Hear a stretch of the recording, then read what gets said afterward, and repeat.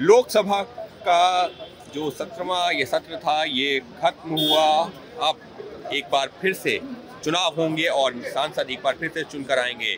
इस बीच में तमाम सांसद जिनका कार्यकाल आज पूरा हुआ है, देख सकते हैं एक दूसरे के साथ में ग्रुप्स में खड़े हुए हैं, महिला सांसद खड़ी हुई है और पुरुष सांसद खड़े हुए हैं। एक दूसरे के साथ कोई सेल्फी ले रहा है तो कोई फ़ोटो क्लिक करवा रहा है तो कोई सीढ़ियों पे खड़ा हुआ है तो कोई जो है सीढ़ियों के बाहर खड़ा हुआ है।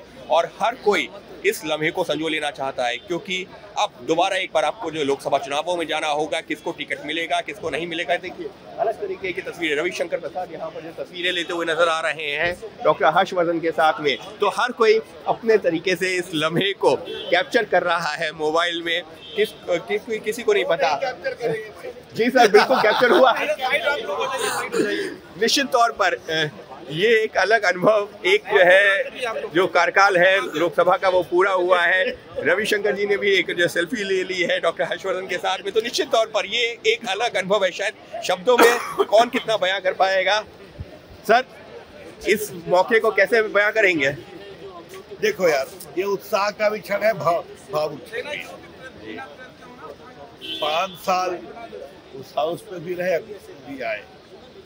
पाँच साल अभी हम डॉक्टर साहब चर्चा कर थे कैसे गुजर गए, पता नहीं चला। बड़े प्यारे क्षण थे, उत्साह के क्षण थे।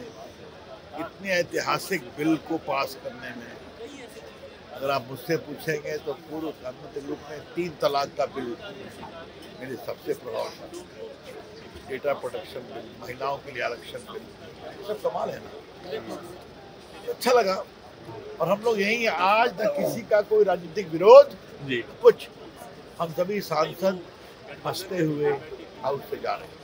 हँसते हुए हाउस से जा रहे हैं और यही जो है इस पल को और ज़्यादा खूबसूरत बनाता है जब तमाम सांसद एक दूसरे से कोई हाथ जोड़ करके विदा ले रहा है, कोई गले मिल करके कोई सेल्फी लेते हुए।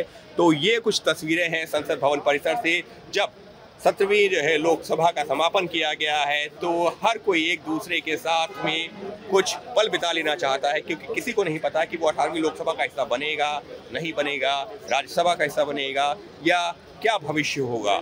और यही वो पल है जहाँ पर हर कोई देखिए, जिस बात का मैं ज़िक्र कर रहा हूँ लगातार, वो तस्वीरें देखने को मिल रही हैं संसद भवन परिसर में।